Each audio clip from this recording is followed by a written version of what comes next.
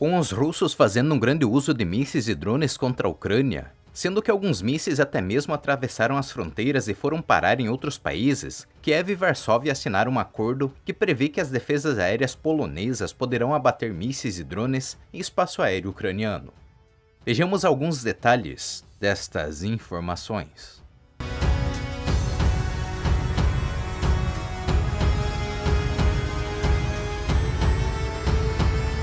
A Polônia tem repetidamente decolado caças em meio a lançamentos massivos de drones e mísseis contra a Ucrânia pela Rússia. A última vez foi nesta segunda, dia 8 de julho, quando as forças armadas russas lançaram uma salva combinada de mísseis contra Kiev e outras regiões da Ucrânia. Antes disso, o Ministério das Relações Exteriores polonês afirmou que o país pretendia começar a abater mísseis russos que voam sobre a Ucrânia, uma vez que estes já tinham violado várias vezes o espaço aéreo da República. E também nesta segunda, dia 8 de julho, um documento com validade de 10 anos foi assinado pelo presidente ucraniano Volodymyr Zelensky e pelo primeiro-ministro polonês Donald Tusk, segundo o qual Kiev e Varsóvia concordaram em desenvolver um mecanismo sob o qual a Polônia abaterá mísseis e drones russos no espaço aéreo ucraniano. No entanto, um detalhe importante a ser considerado é que o acordo sobre a participação da Polônia na repulsão dos ataques russos diz respeito apenas aos meios de longo alcance que forem disparados na direção deste país. O mecanismo será desenvolvido em conjunto com os militares o mais rápido possível, disse Zelensky. Além disso, o documento também estabelece que a Polônia irá considerar a possibilidade de transferir pelo menos um esquadrão de MiG-29, incluindo 14 caças, para a Ucrânia.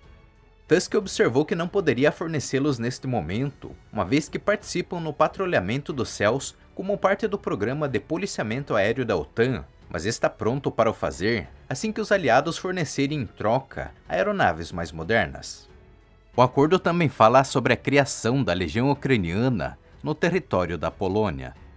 A unidade treinará pessoal para as Forças Armadas da Ucrânia e os ucranianos que residem temporariamente na Polônia e em outros países poderão aderir.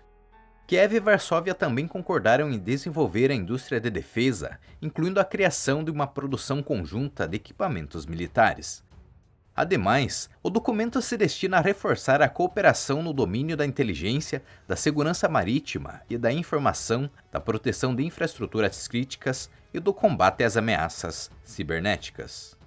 Os países também concordaram com a cooperação política em questões de integração europeia, implementação da Fórmula de Paz de Zelensky, sanções, compensações pelas perdas para a Ucrânia e responsabilização da Rússia.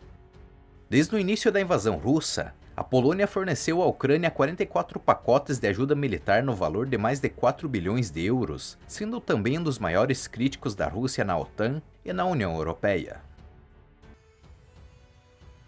Obrigado por ter assistido este vídeo até o final. Se quer apoiar o nosso trabalho, deixe seu like, compartilhe com seus amigos e se inscreva no canal para nos incentivar a produzir mais vídeos como este. Até o próximo.